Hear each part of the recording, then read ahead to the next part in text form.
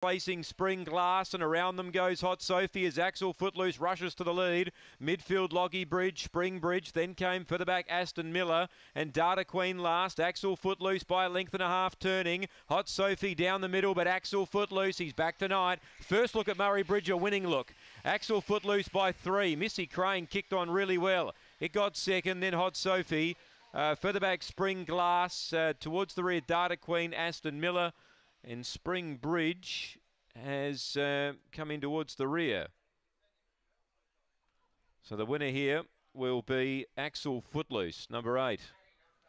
Too good for them. Ken Trowbridge, third run back. Missy Crane runs a very good second here. Hugging the rail. She was quick out early. And Hot Sophie down the middle will get third. 8, 9 and 7 the numbers will be here. 8, 9 and 7, 25 and 43 first look.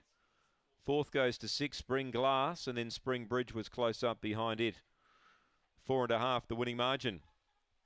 By two, eight, nine, seven, and six. Axel Footloose, third run back. He was peaking at the right time tonight. 376 early, 1652 on the way home. 20